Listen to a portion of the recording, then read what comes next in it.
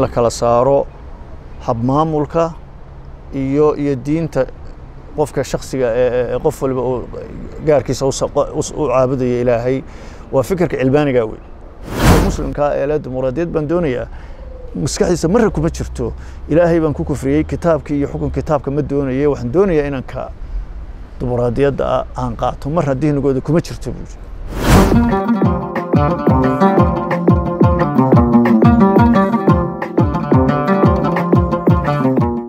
bismi illaahi araxmaan araxiim assalaamu calaykum waraxmatullaahi tacaala wabarakaatu kulanti habboon daawadayaal idil ahaantiin meel kastoo dunida dacladeeda aad ka joogtaan ku soo dhowaada xalqad kale ama qayb kale oo ka mid a barnaamijkeeni taxana ahaa ee qalin iyo la kulanka qoraaga. Haddii allah awoodda la idmo barnaamijkani waxaynu isku dul taagi doonnaa.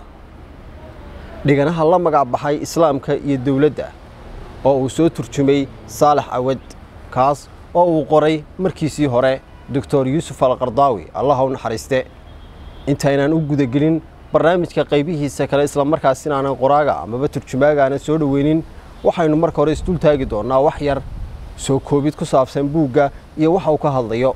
Dhiganaha doorkan daawaha inoo saarani.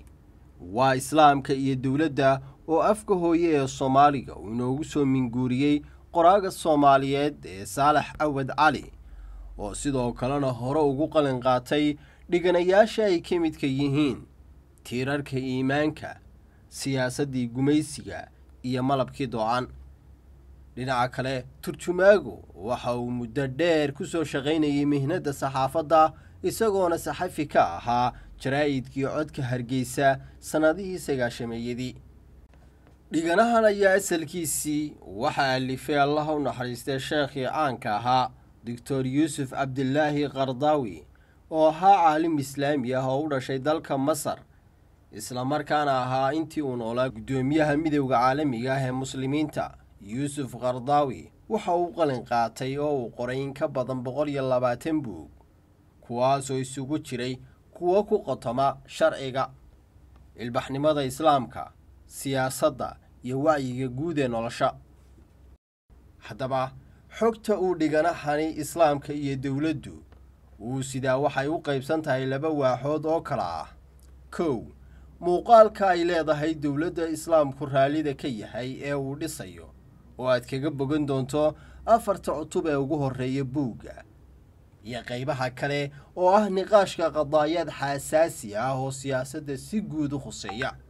Ugu dambaynna waxaynu barnaamijkani jawaabo ugu raadin doonnaa weydiimaha kale ah taariikh ahaan islaamku sidee u arkaa dowlad maxaa sumada u ah dowladda islaamku uu dhidbayo? Maxay yihiin nusuusta caddaynaysa dowladda islaamku raallida ka yahay?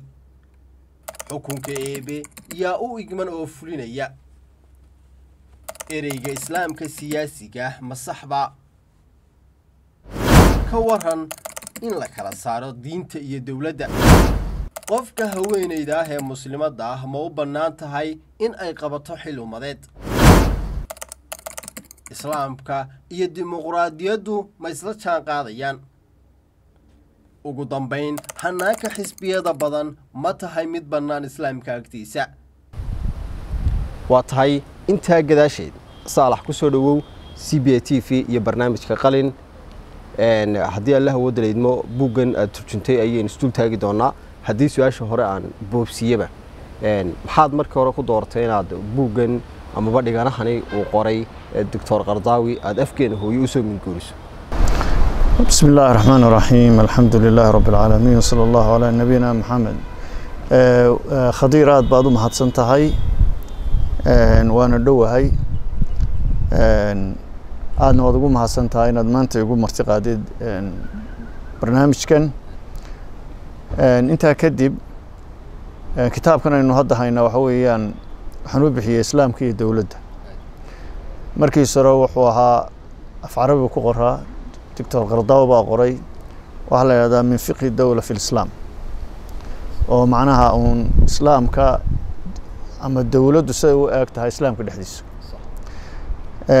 Waxaan ku doortay waxaa jiray buug buuggan ka horreeyey oon qoray oo la yidhaahdo siyaasaddii gumaysiga marka buugga kale ee siyaasaddii gumaysiga waxaan kaga hadlay arrimo la xidhiidha siyaasadda siyaasa sharciya iyo ceebaha ay siyaasadda soomaalidu leedahay ee faraha badan leh ee aynu ka keennay isticmaarka ama aynu ka keennay reer galbeedka ama aynu ka keennay dunida kale aynaan iska shaandhayn ama intaynu wax ucan qorannay aynu wax xun camalkeennina ama dhaqankeennina uu yahay dhaqan aan fiicnayn qoraalkeennina uu yahay qoraal wanaagsan ayaan ku muujinaya. Markaa mowduucaasu la xidhiidhaa marka markaan kaa hore dhameeyey ama daraasaddii aan sameeyey ayaa iga soo baxday muhiimadda uu leeyahay marka kitaabkani sidaasaan u qaatay una turjubay maadaama isku mowduuc ka hadlayaan taariikhaan marka aynayna ku sii soconna qaybeedna kale ee la eego islaamka. Maxaa muujinaya in islaamku ka shaqaynayey dowladnimo islaamka u adeegaysa amba ku dhisan bismi llah raxmaan waa su'aal muhiima taasi waayo. Waa su'aasha koowaad ama cutubka koowaad ee uu doctoorku kaga hadlay qadiyadda. Buuggiisa kaga hadlay. Marka koowaad afarta cutub ugu horreeya ayuu kaga sheekaynayaa dowladdu siday u eegtahay nooca ay tahay makaanada ama booska islaamka ku leedahay wax la mid ah. Cutubka koowaad ama jabtarka koowaad wuxuu ciwaan uga dhigay booska ay dowladdu kaga jirto islaamka iyo inay asal ku leedahay islaamka. Afar daliil buu markaa u soo qaadanayaa. Afartaa daliil midu waata koowaad waxa weye adilo ku taalla qur'aanka. Sida aayaadka labada aayadood ee suuratu nisaa ku yaalla ee uu leeyahay ilaahay subxaana wa tacaala yamurukum an tuaduu lamaanaati ilaa ahliha. Iyo aayadda ka dambaysa ee odhanaysa yaa ayuha aladiina aamanuu adiicu llaha wa adiicuu rasuula uli lamri minkum. Wuxuu yidhi labada aayadood waxay amraysaa madaxdu inay ilaaliyaan ammaanada xukunka. Dadkana dadkana u xaqsooraan aayadda labaad waa aayadda koobaad taas. Aayadda labaadna waxay faraysaa inay dadku madaxdooda ka dambeeyaan oo markaa ay adeecaan marka wixii aan macsi ahaynna ay ay ay maxay ahayday ku adeecaan labada aayadood waa iyo aayado fara badan oo qur'aanka ku saabsan ayuu soo taxayaa. Qeybta labaad ee uu leeyahay way waxay tusinaysaa waxaa ka mid ah axaadiista nebiga. Amase axaadiista nebiga gaar ahaan kuwa ka warramaya khilaafada kuwa ka warramaya beecada sida loo galo kuwa ka warramaya kala dadka madaxda iyo sifaadkooda iyo shuruudahooda xuquuqaha ay leeyihiin wanaagga in loogu kaalmeeyo iyo in laga dambeeyo. Yacni axaadiista kuwa ka hadlaya sidaa u hadlaya ayaa tusinaya inuu islaamku dowlad leeyahay. Qeybta saddexaad ee u soo deliishanaya waxa weeye wax la yidhaahdo taariikhdii islaamka ee soo taxnayd kunkiiyo dheeraadka sannadood dhammaanteed marra may suuroobin in muslimiintu bilaa dowlad noqdaan marka wuxuu ku leeyahay ijmaacaa dheer ee soo socday ee ay muslimiinta oo ay laga soo bilaabayo saxaabadii taabiciintii selafkii iyo ilaa kuwii ugu dambeeyey marna may noqon dowlad la'aan. Taasaa tusinaysa markaa in ay asal ahaan ku leedahay diinta. Waxaa kaloo muujinaya sooyaalkaa markaynu ka nimaadno oo nebigii ka soo bilaabanaya oo saxaabadii ay ku xigeen ayaa waa ka ay culimmadu u soo deliishadaan inuu yahay lagama maarmaan hoggaan iyo dowlad in la yeesho. Qodobka afraad u soo qaadanaya waxaa weeye islaamka iyo risaaladiisu waxay u samaysan yihiin inay tahay shareeco dhammaystiran dhinac walba oo nolosha ka mid ah. Siyaasadda iyo hogaamintuna waa qeyb ka mid ah ee noloshii oo aan laga maarmi karayn. Marka waxa weeye dabeecadda uu leeyahay ama samayska uu islaamku leeyahay oo ah in dadka wanaagsani wax hogaamiyaan oo aan dadka xun loo dayn talada ayaa muujinaya in ayaa muujinaysa in uu yahay maxay ahayday daliil la qaadan karo.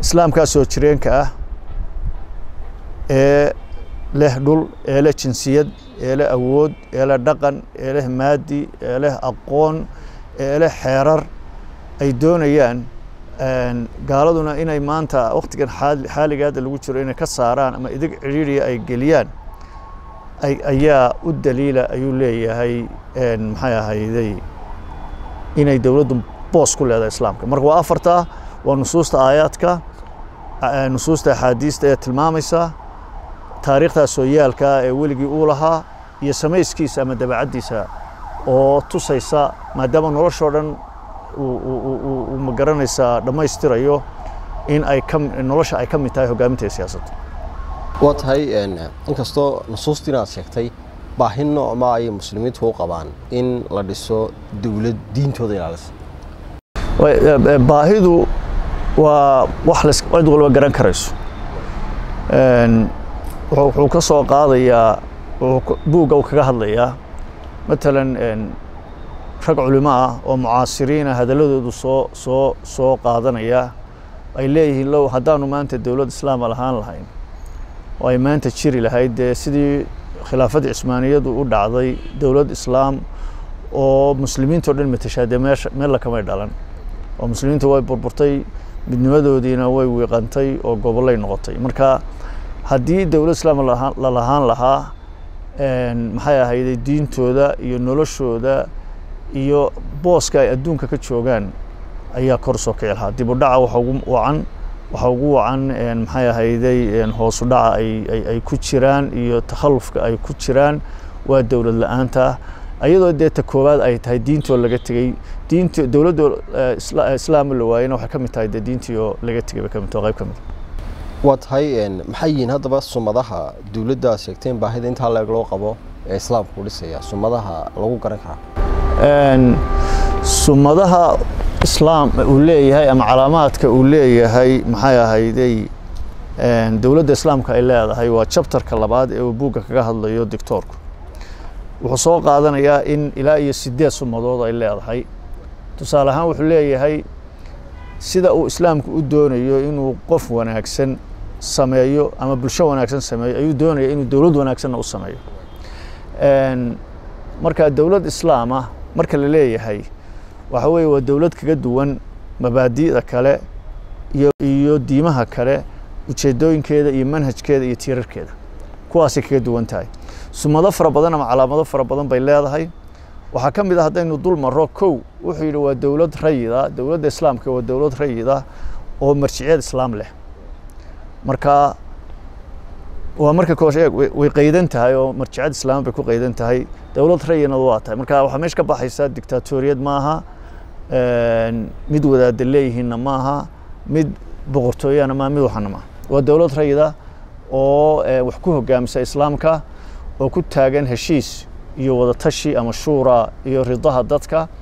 Waa dowlad dadkeedu doortaan madaxdooda kuna xushaan ammaanadooda iyo xilgudashadooda saas uu sharxayaa wuxuu leeyahay waa shaqaale u shaqaynaysa dadka muslimiinta. Ah marka wuxuu keenayaa qiso nin la yidhaahdo taabici la odhan jiray abu muslim alkhawlani.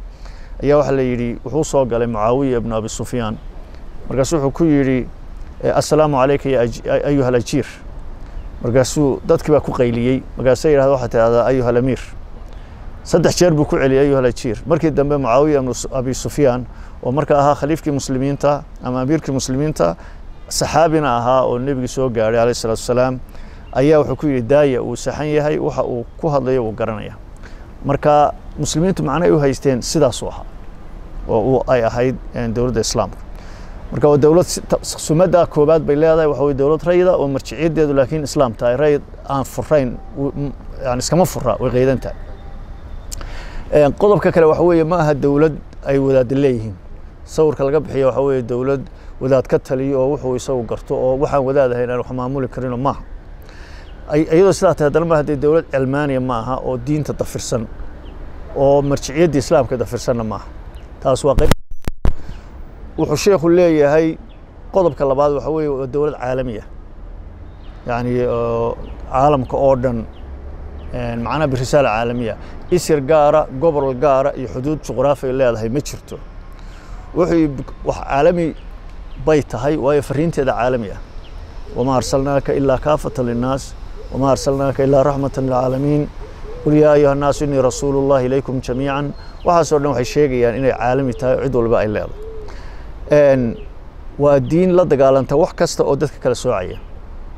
In midab laysku yaso in xoolo laysku muquuniyo in ka tabarta daban lagu joogsado iyo wixii la mid a qodobkaasoo waa qodobka labaad waxa weye inay tahay dowlad caalami ah sumadaheeda waxaa ka mid a buu yidhi waa dowlad sharci iyo dastuur ku shaqaysa. Oo nin aragtidii ama nin ijtihaadkii oo keliya aan ku shaqaynin. Laakiinse dastuur iyo nidaam ay ku shaqaysaa jira. Dastuurkan ka hadlaya marka waxa weeyaan waa dastuurkii shareecada dee markaa ogolaa weeyaan. Ee dastuur bannaan laga keenay oo cid kale keentay kama hadlayo. Wuxuu yidhi sheekhu qofna kama bixi karo xeerka iyo sharciga sida ilaahay u dhigay iyo sida dadku u heshiiyey labadaba xataa imaamku kama bixi karo oo dadka wax ma dheera isaguna. Wuxuu ka hadlaya wuxuu soo qaadanayaa hadalkii nebiga calayh salaatu wasalaam ee uu yidhi xadiiskii shariifka ahaa aan halkan ka eegno. Nebigu wuxuu yidhi calayh salaatu wasalaam asamcu waطaaca cala almar'i lmuslimi fii ma axaba wa kariha maa lam yu'mar bimacsiya faidaa umira bimacsiyatin falaa samca walaa taaca taas waa kaa waayo haddii qofku wax diintii ka baxsan uu kula yimaado kama maqlays waxaa ka mid ah hadalkii abubakar radia allahu canhu maalintii la doortay uu jeediyey ee uu yidhi adeeca inta aan ilaahay kitaabkiisa iyo sharciga aan ku taaganahay. Haddii aan dhaafo idinkuma lihi daaca iyo maqal midna. Marka waxay tusinaysaa in aan amiirka iyo madaxweynaha cid walba aan ka baxsanayn. Cumaro hadal hadalkaa la mid ah ayuu yidhi oo maalintii isagana la caleemasaaray uu yidhi. Sida awgeed ereyadaas waxay qeexayaan inay in islaamku tahay in waxa la raacaya yahay sharciga isla markaana ay waajib tahay aan ahayn wax ikhtiyaariya taas waa qayb dowladda sharciga waa dowlad sharciga oo dastuur ku shaqaynaysa. Qodobka afraad waxa weeyaan waa dowlad shuuro ah oon boqortooyo ahayn. Baryahan dambe ama kunkii sane ugu dambeeyey kun iyo dheeraadkii sane ugu dambeeyey muslimiinta waxaa soo haystay boqortooyooyin. Laakiin sidii ama nusuusta islaamka tusayso ama khulafaa raashidiinta iyo rasuulku wax u maamuli jireen ma aha. Dowlad shuuro ah bay ahayd. Sawirka ugu fiican ee nebiga kadib waa sawirkii khulafaa raashidiinta ama cahdiga raashidiga ahaa ee islaamku uu lahaa oo waxaa telinayey waxaa telinayey shuuraa telinaysay imaamka wax lagu dooranayey dadkao dhan baa dooranayay bayca la gelayey kay ugu aslaxsan ee ugu fiican bay la soo baxayeen marka boqortooyooyinkan dib ka yimi ee waktigii amawiinta soo bilaabmay ee ilaa maanta jira ma aha qaabka islaamku doonayo inay dowladdiisu noqoto. Marka way dowlad aan boqortooyo ahayn isla markaana shuuro ku shaqaynaysa. Ma aha dowlad la ysaga dhexlo sida xoolaha qofku inanka yar uu aabihii ka dhexlo xoolaha iyo maalka iyo guryahaas uga dhexlo inuu ka dhexlo dowladda midu ma aha. Waxay leedahay mabaadida ugu fiican ee dimuqraadiyadda ku jirta. Dimuqraadiyaddanu naqaanaa aad iyo aad inoogu badan lakiin mabaadida ugu fiican ee ay dimuqraadiyaddu leedahay islaamkuna waa leeyahy laakiin markaa macnaheedu maaha inuu islaamku dimuqraadiyad yahay ama nuqul ka mida uu yahay dimuqraadiyadda reer galbeedka waxay leedahay waxyaala xunxun bay leedahay waxyaalaha xunxun islaamku ma qabo. Waxay leedahay waxyaala wan wanaagsan oo fiican waxyaalaha wan wanaagsan islaamku waa qabaa. Macnuu intaan weeye. Hahay waayo hanaanka shuurada isagoo dimuqraadiyadda u eg haddana wuxuu leeyahay xuduud aan la dhaafi karin oo ah waa maxay? Waxay leedahay axkaam iyo akhlaaq maxay ahayday islaamku jideeyey ama ilaahay dhigay oo aan codayn gelin oo aan bedelaad gelin oon la laali karin oo aan wax laga bedeli karin. Kuwaasay leeyihiin. Waayo wax eebbe faray cidima tuuri karto wax eebbe laalay ama diidayna cidima soo rogi karto. Baarlamaan iyo dowlad jirta midna tiirarka islaamka ee qawaacidda ah ee habnololeedkeedu uu ku fadhiyo ee caqiidada imaam ka mid yihiin cid bedeli kartaana ma jirto. Marka waxa weeya waa dowlad qaabka u dhisan oo shuura oo aan boqortooyo ahayn sida uu sheekhu leeyahay. Qodobka shanaad wuxuu yidhi waa dowlad hanuun ku dhisan ee ma aha dowlad miisaaniyad doona. Wuxuu ka wadaa waxa ay u shaqaynaysaa u socotaa inay dadka hidaayo gaadhsiiso weeye iyo hanuunka ilaahay. Wuxuu soo qaadanayaa qiso cumar ibn cabdilcasiis waktigiisii ayaa waxaa nin amiirka ahaa masar ayaa warqad u soo qoray. Wuxuu ku yidhi dadkii soo geliyey islaamka ayaa batay ee aan ka qaadi jiray jisyada ee gaalada ahaa ee muslimiinta ku hoos noolaa. Dhammaantu way islaamayaan. Sidaa aawadeed waxaa isdhimaya khasnadii dowladda amase maaliyaddii dowladda hoos bay u dhacday. Way lacagtii soo geli lahayd qofku markuu islaamo jisye laga qaadi maayo. Dabeedna wuxuu yidhi jisyadii si aan u buuxiyo oo khasnaddii aanu isu dhimin waxaynu samaynaynaa waxaan goostay in aan sanad intay sekada ku waajibay sekaduna dee sanad bay ayaa la sugayaa. Marka sanad baa kala go'aya halkaa miisaaniyaddii dowladda. Marka wuxuu yidhi waxaan rabaa inaan sanadkaa ku sii wado iyagoo muslimiina inaan jisyadii ka sii qaado si aanay isu dhimin markaa khasnadii dowladdu. Marka wuxuu fariintii markay u timi fariin buu u soo celiyey cumar ibn cabdicasiis wuxuu ku yihi qabax allahu wajhak ilaahay jaahaaga ha gubee ilaahay uma soo saarin muxamed ilahay wuxuu soo saaray moxamed haadiyan laakiin uma soo saarin inuu yahay nin miisaaniyad iyo xoolo doona marka waxay tusinaysaa sida u fahamsanaa markaa dowladda islaamku calaamad ama ay leedahay inay tahay. Waxaa ka mid a waa dowlad ilaalisa dadka taagta daran ducafada. Waa sababta loo waajibiyey sakada iyo xuquuqaha kale waa dowlad ilaalisa agoomaha iyo dadka taagta daran iyo dadka duruufaha gaarkaa leh. Wuxuu jeexay islaamku ama dowladda islaamku ama diintuba wadooyin tartiib tartiib loogu xoreynayo matalan dadka addoomaha ah. Markuu ka sheekeynayo wuxuu yidhi islaamku addoomaha marka laga sheekeynayo iyagoo jira oo waktigii waktigaa ay caalamka ka jirto ayuu ayuu ayuu soo baxay hal mar ma odhanin addoonnima ma jirto laakiin wuxuu sameeyey waddadii lagaga takhalusi lahaa.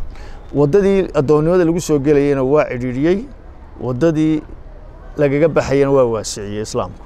Marka waxa weeyaan wax lagu soo geli karaa oo keliya hal mid ama laba qodob oo keliya oo dagaalka gaalada lagu qaada uu ka mid yahay ayuunbaa de kaasumaan filaya inay tahay ayuunbaa addoonnimo asal ahaan lagu noqon karaa. Laakiin waxaa lagaga bixi karaa kii dembi gala kii wax dila kii wax lagu yeesho mid walba in la yidhaahdo faku raqaba. Kii muslim lacag haysta in la yidhaahdo xore mid maxay ahayde addoon hore dadka dembiyadu ka dhacaan in lagu waajibiyo inay xoreeyaan marka waxa weeyaan waxaa la badiyey waddadii lagaga baxayay marka sablaygii baa la yareeyey. Dimaankiina waa batay. Marka waxaad garanaysaa markaa in ay siday uga baxayso xaggay ka soo gelayeen baa yar ay ka waa markaa muddo kooban ayuu kaga takhalusay markaa riqigii addoonnimadii ee jiri jirtay. Waxaa jirta waxaa la wariyaa in wuxuu soo qaadanaya xadiis nebigu alayh salatu salaam uu leeyahay ma daahirto ummad aan keeda jilicsani xaqiisa ku helin dhib yaraan. Yani waxa weeye qofka jilicsan ilaa toddoba meelood ayuu kaga sheekeeyey oo maxay ahayday ay nebiga alay slat slam saxaabigii mucaawiya ka warinaya cabdullaahi ibnu camr ibn caas baa warinaya jacfar ibn abi taalib baa laga warinaya. Intaas soo wado waxay ku yidhahdeen nebigu yidhi ummadi ma dahiranto amase ma liibaanto aan kooda daciifka ay xaqiisa si dhib yaraana ku helin. Yani aafooyinka iyo dhibaatooyinka maantayna haystaa ayay ka mid tahay in dadka ducafada ahi xaqooda ay si dhiblaya si kadeeda ku helaan haddaan soo koobo waxaa jira qodobka dowladda lamber toddoba wuxuu leeyahy waa dowladdii xuquuqda iyo xorriyaadka. Oo wuxuu leeyahay waxay u timi ilaalinta daruuriyaadka shanta ah maalka nafta iyo iyo cirdiga iyo wixii la mid ah. Islaamku waa diinta keliya sida imaam khasaali sheegayo keentay waxa la yidhaahdo xorriyadda diimaha adiga oo aan diinta muslimka haysan inaad noolaan kartid muslimiinta la dhex noolaan kartid diintaada ku haysan kartid diin kaloo qabtaa ma jirto. Taasna wuxuu waa casriyada waktigaa hore ay diimihii hore jireen. Lama ogolayn islaamka ayaa la yimi. Qofkana inuu xor yahay qofna aan lagu khasbi karin diin aan diinta islaamka ahayn. Hadduu haystay diinta markii hore. Qodobka sideedaad wuxuu ku leeyahay waa dowladdii mabaadida iyo akhlaaqda. Akhlaaq iyo mabaadi bay leedahay. Wuxuu ka wadaa wuxuu ka wadaa waa mid dhaqan wanaag leh mabaadi ay ku qotonto leh meel loogu soo hagaaga leh. Wuxuu yidhi waxay u taagan tahay sifadaas dhulkeeda iyo debaddeeda markay dhulkeeda joogto wejigay dadka kula dhaqmaysaa. Markay debadda joogtona wejigaas bay ku dhaqmaysaa. Dowladaha maanta casriga ee jira marka ay waddankooda joogaan gaar ahaan kuwan awoodda isbida sibay dadkooda ula dhaqmaan. Dadka kale ee masaakiinta ee ama ay qabsadaan ama ay dalalka kalena si weji kale kula dhaqmaan. Marka labadaa weji ma leh wuxuu waa dowlad aan midabayn oo midabo badan oo kala duwan lahayn. Waa dowlad aan laba weji iyo laba carab midna lahayn saasuu sheekhu leeyahy wuxuu ka hadlaya wuxuu ku leeyahay ma taqaano hadaf xun hadaf wanaagsan sorry hadaf wanaagsan oo lagu gaadho waddo xun. Yani algaayatu tubarir alwasiila kaana ma ma ogolo oo ninkii loolan jiray mikafeli iyo falsafadiisii way ka soo horjeedaa oo ah si aad u gaadhid hadaf wanaagsan waddo wanaagsan baad u maraysa. Oo ilaahay rasuulka alayh salatu slam wuxuu yidhi allaha ayibun laa yaqbalu laa yaqbalu ilaa ayiban waa tahay aad baad mahadsan tahay qaybaha hore buugga waxaa xusaya in islaamka ama diinta islaamku ay ilaa waktigii amaba samankii nebigu noolaa alayh salatu salaam ay dowlad dhis islaamiya ka shaqeynaysa. Haddii ay sidaa tahay inta dambena imika waxaan maqalnaa dood soo noqnoqoto oo ah dadka madaxdahi waxay doonayaan ama ay ku haystaan xukunkii ilaahay lahaa. Ay ku haystaan inay u hanqataageen inay gacanta ku dhigaan. Labada arrimood sidaa isku waafajin kara haddii islaamku dowlad ka shaqaynayey sidee baa tii ilaahayna markaa imika loo mararsanaya? Masalada xaakimiyada seebuu guud ahaan xaakimiyada waaya horta waad mahadsan tahay. Hadda marka ugu horeysa eebe wuxuu soo dejiyey ama soo rogay oo laysku xukumaa dee waa waajib. Taas waana sharci waana waajib. Xaakimiyada markuu ka hadlayo matalan sheekhuna wuxuu qaybiyey laba wuxuu yidhi xaakimiyada amase ilaahay xukunkuu leeyahay. Markaynu soo qaadno sida qur'aanku tilmaamayo waa laba. Xukun waa qeybta waa ka kowniga ah oo waa qoraalka ilaahay iyo ilaahay wuxuu dhigo. Wallaahu yaxkumu laa mucaqiba lixukmi in maalintu sidan ahaato in sababku saan isaga wareego in wax alla wixii noole dhintaan in maxay ahaydeen waxaan isagaa dhigay. Idinma bedeli karto waana arrin inagu samaysan oo qofka ku samaysan ama nolosha o dhan ku daabacan weeyaan kaasoo ta kowniga ah. Midina waa ta sharciyeynta ah. Inuu xukunka ilaahay leeyahay. Marka ta sharciyeynta ah waa ta ina saaran waana ta la doonayo inaynu shareecada ka qaadano amase awaamirta ilaahay ka qaadano matalan yay saaran tahay maxay ahayday xukunka islaamka ama shareecada islaamka hirgelinteeda marka la yidhaahdo waxay saaran tahay qof kasta madaxweynaha gaar uma saara dowladdiisana gaar uma saara hay'ad kalena ma saara laakiin waxay saaran tahay dadka waxay saaran tahay dowladda waxay saaran tahay shacabka waxay saaran tahay adiga waxay saaran tahay everybody qof kasta. Waayo qur'aanku marka uu ka hadlayo axkaamta waajibaadka ah wuxuu u hadlayaa sida sheekhu tilmaamayaba si guud buu hadlaya yaa ayuha aladiina aamanuu awfuu bilcuquud. Lama odhan boqorka ama madaxweynaha keliya kuma socoto. Yaa ayuha aladiina aamanuu yaa ayuha annaasu fajliduuhum ثمانين جلدة فاقطعوا أيديهم يعني markaa dhammaan nusuusta awaamirta ah ee ka hadlaysa xukunka ama qisaasta ama se maxay ahayde xuduudda dhammaantood jamac guud bay ku socotaa muslimiinta o dhan bay la hadlaysa rag iyo dumar shacab iyo dowlad qof walba mas-uuliyad baa ka saaran cid gaaroo inta iska seexanaysa qolo gaarana loo deynayo maaha waa ognahay dee dowladdu iyadaa maamulkii haysa iyagaa maxay ahayde wax badan laga doonaya laakiinse dadkana kagama baxayso eedo caynkaas kagama tegayaan aan ka sii daba tago. Maxay yihiin xukunada weeba soo dejiya tahay in la fuliyo? Xukunada eeba soo dejiyay tahay in la fuliyo la fuliyo dhammaan waa wixii uu sharca ka dhigay oo dhan. Taas waa si caama. Xukun gaaroo leeyahy kaana gaar ba loo fuliya kaana loo fuliya ma jiro. Waa dhammaantood in la fuliyo weeye kuwii raxmad ka hadlaya kuwii naxariis ka hadlaya kuwii cibaado laga lagaga ka hadlaya iyo mid walba. Waa tahay aad ba mahadsan tahay. Haddii aynu ku sii soconno saalax inta badan waxaynu maqalnaa iyadoo la leeyahay islaamka siyaasiga. In ereygaas sidaa loo idhaahdaa ma sax baa? Maya. Waa khalad waa kelmad khalad. Islaamka siyaasiga waa erey bixin cusub oo uu keenay cadowga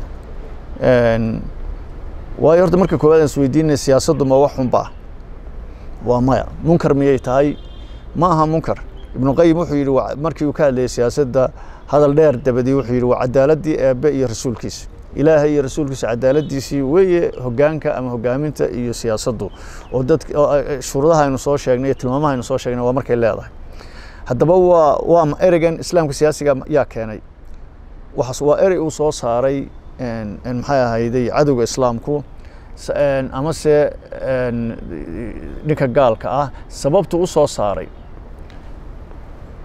Waynu arki doonaa. Waxa weeye marka ugu horeysa wuxuu leeyahy sheekhu chapterka marku ka hadlaya wuxuu leeyahay waa erey bixin khaldan oo aanu diidannahay waayo ma jiro islaamyo kala duwan.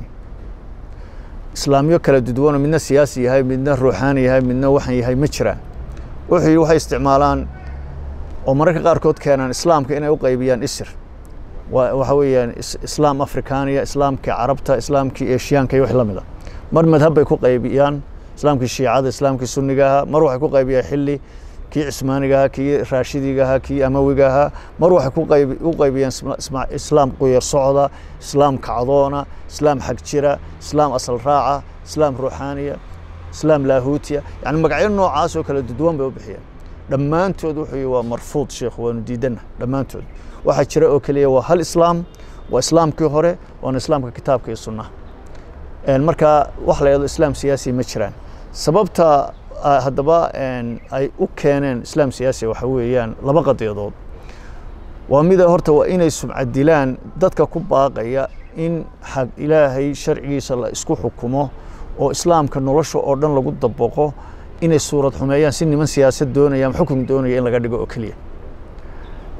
Qodobka labaadna waxa weeyaan dadku guud ahaan siyaasadda waa necabyin siyaasiga waa necabyin siyaasadda waa necabyin waxaa loo haystaa inay tahay khiyaamo waxaa loo haystaa inay tahay wax xun waxaa loo haystaa inay tahay wax wasakha sidaa aawadeed maadaama ay wax xun tahay wax khiyaamo ku dhisan tahay khiyaamo iyo been ku salaysan tahay islaam islaamiyiinta siyaasi siyaasiga ahi macnaha waxa weeye islaamiyiintii khiyaamada iyo waxan iyo waxan lahaa marka meel xun oo ay magac xun dadka dadkeena caadiga ah caamada ah aan meel aan fiicnayn ayaa lagu riixaya inuu ka sheekaynayo taas waa tay u sameeyeen wey laakiin wuxuu leeyahay sheekhu islaamku sidiisaba waa siyaasi. Siyaasi mooye wax kaleba ma aha buu yidhi. Ya waayo waa habnololeed dhammaystiran. Waayo wuxuu hagaa nolosha oo dhan. Ayuu ayuu tawjiihiyaa. Wuxuu yidhi ma ogolo in nolosha loo qaybiyo ilaahay iyo kaysar si lilaahi maa lilaahi walikaysar maa likaysar sida uu qorayo bibleka oo boqorkuna wuxuu doono sameeyo adiga iyo ilaahana aad uurkaaga ku haysatid oo si gaara u caabudid. Oo tahay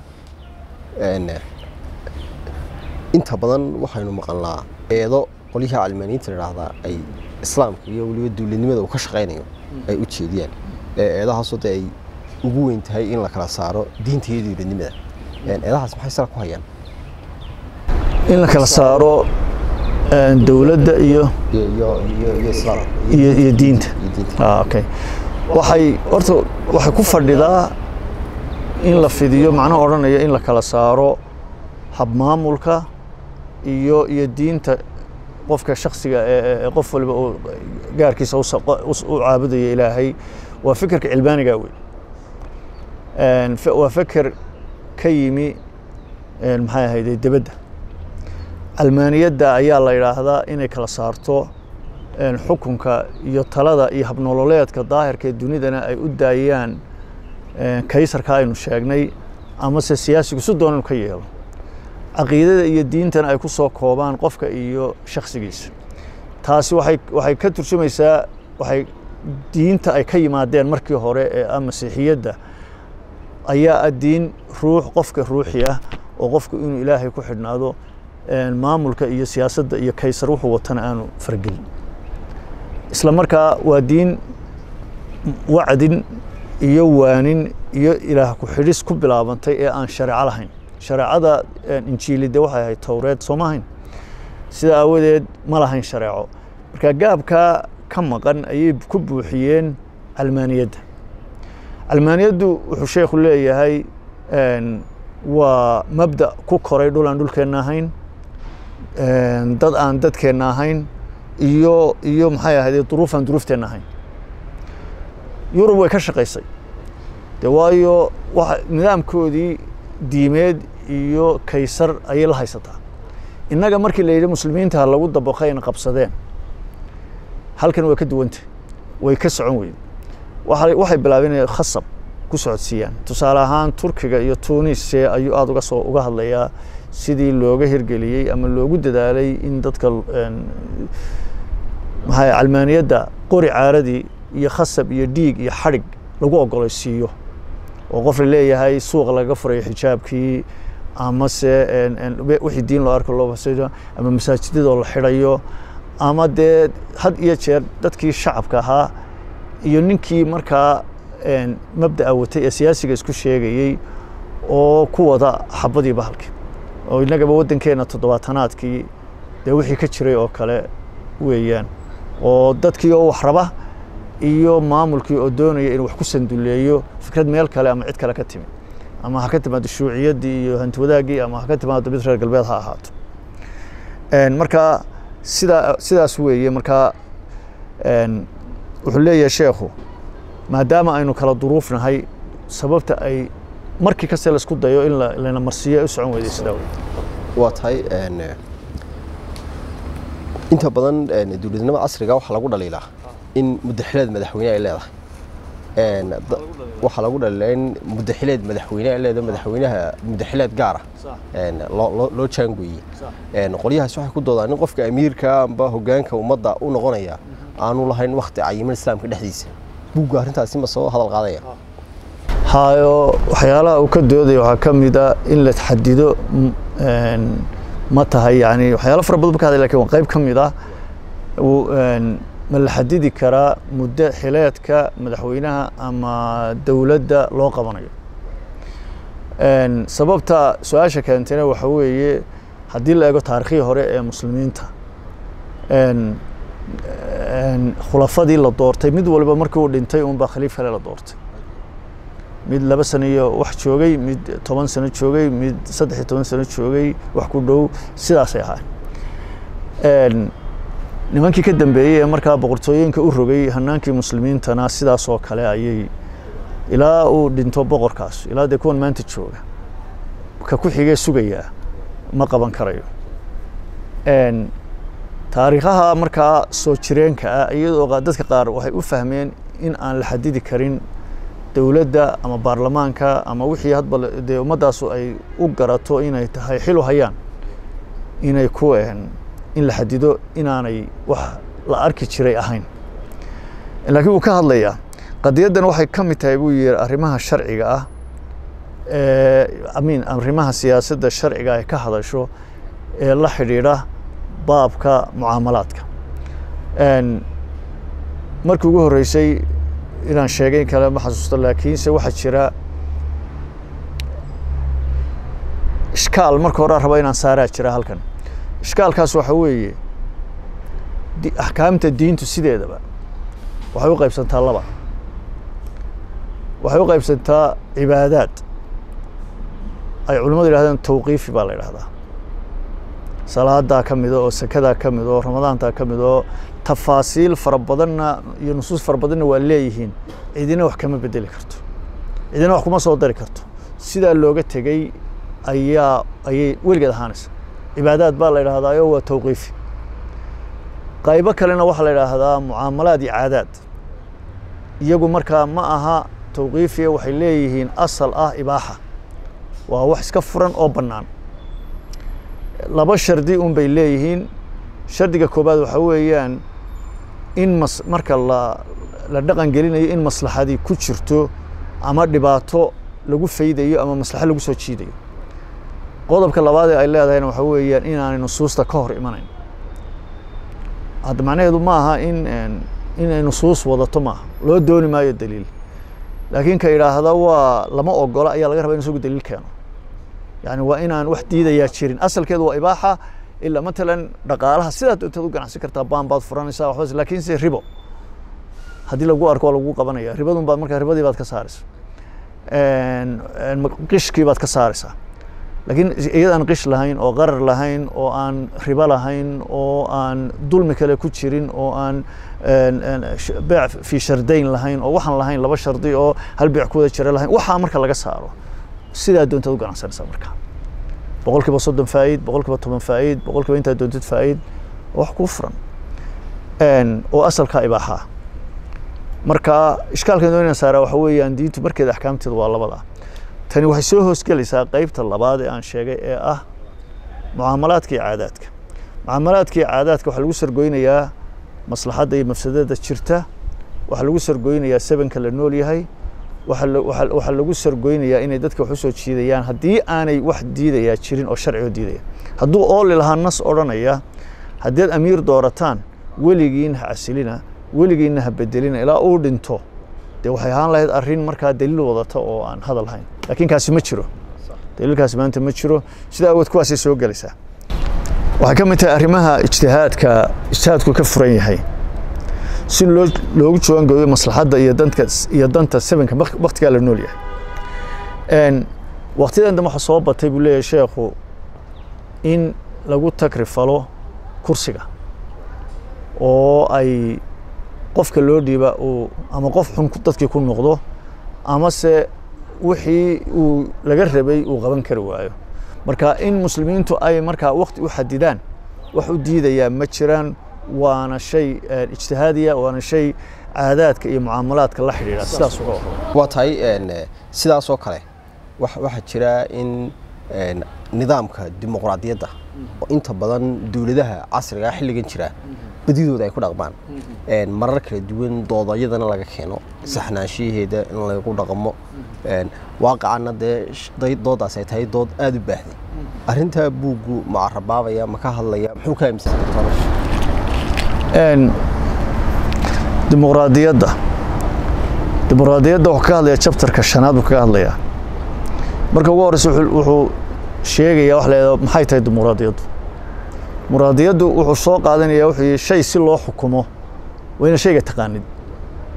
Waxaa laga yaabaa qof inuu xukun iska rido shayga uu xukumayana aanu aqoon taa uu aada buga hadlayaa waxa ay tahay. Wuxuu ka hadlayaa nuxurka dimuqraadiyaddu ay leedahay wuxuu ku wareegayaa dhowr qadiyadood oo ay leedahay dimuqraadiyaddu oo ah dadku inay xaakinkooda doortaan inay la xisaabtamaan oo la xisaabtami karaan iyo inay maxay ahayde markay doonaan casili karaan shaqaale uu u yahay oo ay maxay ahayday korjoogteynayaan marka ay ku korjoogteynayaan inuu mabda'ii iyo iyo iyo sharcigii oo dee ah shareecadii laisla ogolaa uu ka baxayay in kale isla markaana waajibaadkii lagu lahaa inuu fuliyey.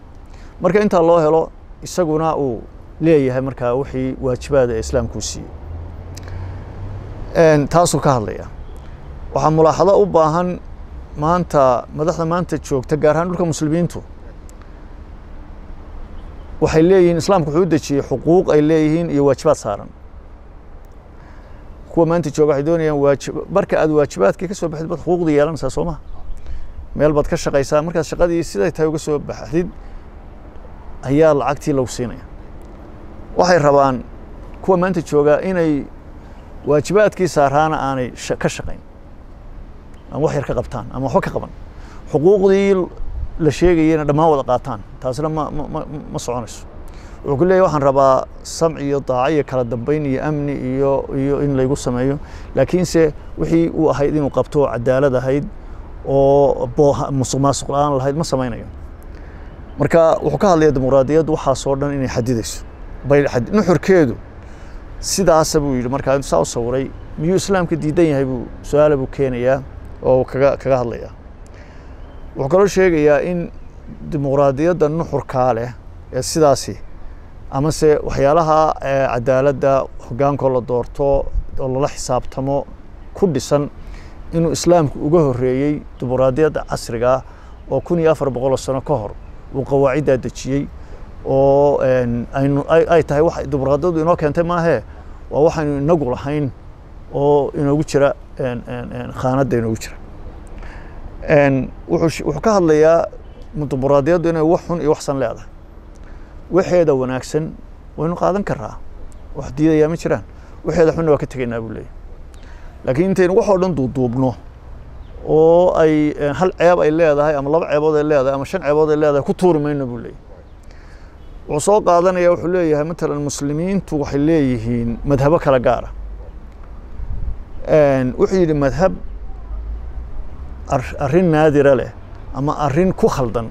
Madhabto dhan looma tuura buu yidhi lakiin shaygaasa la tuurayaa buu madhabtii waa shaafici madhabtii waa xambali waxay doonto magacay doonto ha haysato waa xanafi. Laakiinse erey axkaamta ay ku khaldan tahay oo dhan baa dee laga tegayaa ama dib baa loo saxayaa dimuqraadiyadduna waxay wanaag leedahayna waynu qaadan karaa waxay xumaan leedahayna waynu iska bedeli karaa wuxuu soo qaadanaya wuxuu leeyahay in tajribo dad kale yeesheen. Aynu haddaynu ka qaadno dimuqraadiyadda in cid kale keentay tajribo cid kale keentay. Inagu ma qaadan karaa hadday wax wanaagsan tahay oo adduun in anfacaysa adduunka. Ha! Marka wuxuu soo qaadanaya laba qiso oo waqtigii nebiga dhacday alayh salatu wasalaam. Waxaa la yidhi rasuulka alayh salatu wasalaam saxaabadu waxay ku yidhaahdeen markuu waraaqaha u diri jiray nimankii kufaarta ahaa ee maxay ahayday waktigii waktigiisii noolaa ee diinta ugu yeedhi jiray. Ayaa waxay ku yidhaahdeen ma akhriyaan warqad aan shaambadaysnayn shaabad bay isticmaalaane yani macnaha shaabad maad samaysatid sidoodoo kale. Fatakada khaataman sidaasu markaa shaabad nebigu ku samaystay warqadda uu qoro ku dhufan jiray oo ku qoran tahay maxamed rasuulullah. Marka lama odhanayo shaabadda gaalaa lahaydee maxaa loo qaatay oo loo isticmaalay. Waxaa kaloo jirtay maalintii la qodayey khandaqii madiina ayaa muslimiinta xaaladda ku adkaatay. Hal albaab bay leedahay keliya madiina laga soo galo. Kii bay difaac ka galeen. Salmaan alfaris ba wuxuu ku yidhi rasuulku wuxuu ku yidhi alayh salatu wasalaam wuxuu ku yidhi nimankan aan ka imi tanoo kale hadday qabsato god bay qodaan. God weyn oo aan farduhu soo mari karin ayaa la qodaa aynu god qodno. Nebiguna sidii buu qaatay. Waana arrin waa u guuxay arrin fiican weeyaan marka qisaskaas arrimahaas waxay tusinayaan maxadiistaas waxay tusinayaan fikrad cid kale isticmaasho oo wanaagsan hadday ku gaadho adigu inaad qaadan kartid. Dimuqraadiyadda waynu sheegno inteeda xun ma qaadanayno. Isagu wuxuu ka hadlayaa inteeda wanaagsan waynu qaadan karaa wax dhiboo ku jiraana ma jiraan. Aaliyaadkeeda iyo agabkeedana waa isticmaali karaa wuxuu ka hadlayaa oo aada uga hadlayaa had iyo jeer waxaa muhiima saynu u sheegnay in wixii la fahmo. Wuxuu leeyahy matalan dad muslimiina oo waxaynu aragnay meel walba ka qaylinaya oo dowlado shacaba oo leh waxaanu doonaynaa dimuqraadiyad. Ama nin siyaasi oo leh waxaanu doonaynaa dimuqraadiyad. Taa macnaheedu maaha inay doonayaan kufri oo ay sharciga ilaahay ku bedelanayaan laakiinse waxaa ka keeni karta aqoon daro aanay garanaynin farqiga u dhexeeya dimuqraadiyadda sideeda isugu xidhan iyo iyo iyo sharciga shareecada islaamka. Ama waxay ka wadaan waxaanu doonaynaa inaanu ciddayada dooranno maamulkayga dooranno maamulkayga la xisaabtanno xoolahayga aanu cunin xoolahayga aanu qaadan dhaqaalahayga wax noogu qabto soomaadka diintayada iyo qiyamkayaga iyo iyo dhaqankayagana nagu wado. Saasaanu doonaynaa. Taasay dimuqraadiyadda markaa u yaqaan. Ama in doorasho qofkii ku tago oo ku yimaado ayay doonayaan. Laakiin maskaxdooda kuma soo dhacayso buu leeyahay. Marra qofka muslimkaa ee leh dimuqraadiyad baan doonayaa maskaxdiisa marra kuma jirto. Ilaahay baan ku kufriyey kitaabkii iyo xukun kitaabka ma doonaye waxaan doonayaa inaan ka dimuqraadiyadda aan qaato. Marra dihnigooda kuma jirto buu marka halkaasuu taas kaga hadlaya wuxuu keeni wuxuu keenayaa markaa dhowr shubahaad oo amase shubho oo lagu duro dimuqraadiyadda. Dhammaantood si wacan buu uga jawaabayaa. Waxaa ka mid a ta ah xukmu shacab lishacab xukumkii shacabka marka dadka duraa waxay leeyihiin taa macnaheedu waxa weeye in laga in la qaatay shacabku taliyaan oo halkii ilaahay galeenoo dabadeedna ay meesha ka baxdo xaakimiyadii ilaahay oo xukunkii ilahay meesha ka baxo. Marka wuxuu leeyahay taas sax maaha. Waxa weeyaan dadka marka qof kale xukunka shacabkaanu doonaynaa macnaheedu waxa weeye waxaanu doonaynaa xukunka inaanu annaku mabda aanu doonno iyo waxa aanu qiyamkayaga iyo dhaqankayaga iyo diintayada in lagu wado saas ka wada. Oo aan waxay ka horjeedaa buu leeyahay xukunka fardiga. Xukunkii shacabkaanu doonayna laakiin xukunka adiga keligaa dictatora ama boqora ma doonin. Marka wuxuu ku leeyahy marka la xukunka shacabka kama soo horjeedo xukunka ilaahay ee wax ka horjeeda xukunka fardiga. Ilaahay laislama gaadhin waxa weeyaan keligaa ma talina sidee? Annaga waxaanu doonay nagula talinayso waxay la mid tahay un waxyaalaha kale aynu sheegnay la yidhaahdo maxay ahayday masiirka ayakatashiga shacabka masiirka dadka danta dadka. Waxaynu ka sheekaynayno ma ka mid shacabka saasuma loo saasuu markaa u dhigayaa taa. Wuxuu kaloo ka hadlayaa xukum waxa la yidhahdo aktariyada ama majority inay wax hogaamiso oo majority wax lagu dooran karo. Nusuus fara badan buu keenayaa taana oo ay ka mid tahay markii cumar radia allahu canhu uu geeriyooday wuxuu ka tegey dardaaran ah lix nin oo la yidhaahdo lixdii shuurada shuuradii cumar lagu magacaabo. Wuxuu yihi halka majoritigooda uu raaco ayaa imaamku noqonaya. Waxaa jira xadiis odhanaya sawaadul acdamka in la raaco sheegaya. Wuxuu keenayaa dhowr qiso oo noocaasa oo ay ka mid tahay cabdiraxmaan bin cawf markii uu galay maxay ahaydeen madiina uu ogaanaya cali iyo cumar markay isku soo hadheen. Ninka popularka ah ama majority dadku la socdaan ayuu dadkii kala soo dhex baxay. Waxyaalahaasoo dhan baa baa sheegaya. Qodobka muhiimka ah waxaa jira dad yidhaahdaa dimuqraadiyaddu waxay wadataa shacabka oo xukumo. Caawa wax la odhan kara aynu tukanno iyo ma tukanaabaa food la gelinaya baarlamaan baa gelinaya waxay odhanayaan yaan la tukanin saasaa lagu sharciyeynaya waxaa la odhanayaa qisaasta ma joojinaa dadka in la qisaaso iyo iyo masu mise ma daynaa food baa la gelinaya. Wuxuu leeyahy maya. Wuxuu yidhi sharciga islaamka iyo muslimiinta ka waxa thawaabidda ah ee diinta thawaabidda ah food ma galaan buu ku leeyahy maxaa ka mid ah matalan cibaadaadkaynu ka soo hadalay iyo beddelkooda food ma galaan. In in cadaaladda iyo xukunka ilaahay laysku xukumaa food ma galaan. Xuduudda in la hirgeliyaa food ma galaan waxyaalaha thawaabidda ah ee aayaadka muxkamka iyo axaadiista muxkamkaa ee ummaddu ay leedahay diinteenna ma galaan food. Waxa foodka gala buu markaa sheegaya waxaa ka mid a wixii khilaaf madhabeed ku jiro khilaaf fiqhigi ku jiro naska ta'wiilaad kala duwan uu leeyahay. Taasaa ka mid ah. Tusaale ahaan wuxuu soo qaadanayaa ramadaanta. Dowlad baynu nahay meel taagan ramadaan baa maxay ahayday bilaanaysaa laakiin ramadaanti waa la isku qabtay. Madhabi waxay leeyihiin may adiga magaaladaada marka laga arko un bay kuu bilatay mid kale waxay leedahay ikhtilaaf madaalic baa jira. Mid leeyahay ikhtilaaf madaalic ma jiro. Mid wuxuu leeyahay muslimka haddii meel laga soomo waa la soomaya. Marka waxyaalahaas dhan khilaafka waxa kala duwan in la xasmiyo oo mid lagu soo koobo si aanay dadka khilaafkooda iyo wadajirkooda u lumin wax diidaya ma jiraan buu leeyahy meelahaasay geli kartaa buu yidhi foodku waxay geli kartaan wixii maslaxa guuda ma hawshaasaynu horraysiinaa ma taasaynu horraysiinaa ma taasaynu qabanaa ma taasaynu xasinaa ee ku saabsan siyaasa sharciya laakiin macnaheedu ma aha in xukunka ilaahay la boobay. Laakiinse xukunka ilaahay waxna tawaabid buu inooga tegey waxna tafaasiisheeda iyo faahfaahinteeda dadku u daayey. Wixii uu dadka u daayey ay weeye waxa u baahan foodka iyo waxa u baahan codka iyo waxa u baahan kala doorashadu. Saasuu markaa u dhigaya waa tahay waxaan soo gaarnay guddiga gabagabadii. Su'aashuu dambeysay. Kolley marka buug la turjumayo amaba la qorayo la alifayo waxaa dadaal badan iyo juhdi badan baa la geliya waa hawl culus weeye. Juhdigii iyo dadaalkii aad gelisay dhiganaha doctor qardaawi allah u naxariistee uu qoray inaad luuqadii hooye oo soomaaliya aad u soo minguuriso ma is leedahay fariintii buu bulshada sideedii u gaadhay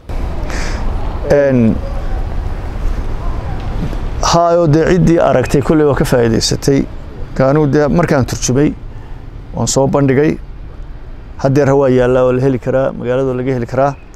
Marka waxaan is leeyahay fari wax badan buu ka tarayaa. Weliba waxuu anfacayaa dadka siyaasadda ku jira iyo dadka doonaya inay siyaasadda wax ka bedelaan wax ka qabtaan. Labada kooxood buu aada u anfacayaa. Waana wixii halkaa aan ku turjumayna waa wixii sheekhu isagu yidhi anigu wax fikradna kumaan darsan waxna kamaan bedelin. Waa suuragal waxyaalaha ku diidan inay jiraan. Laakiin waxaan ka markhaati kacayaa inuu yahay dadaal aada u fara badan iyo maxay ahayday mawduuc. Haddaynu kaba soo qaadno in hal one percent aynan ku raacsanayn. Sagaal iyo sagaashanka kale ayuu si wanaagsan oo oo faahfaahsan oo maxay ahayday waxtar leh. Waa tahay aad ayaad mahadsan guud ahaan daawadaalintaasi waxaa noogu dhan barnaamijkeenani oo aynu kaga hadlaynay amaba isku dultaagaynay. Dhiganaha la magac baxay islaamka iyo dowladda oo uu turjumay saalax awood oo barnaamijka igu martiya saalax.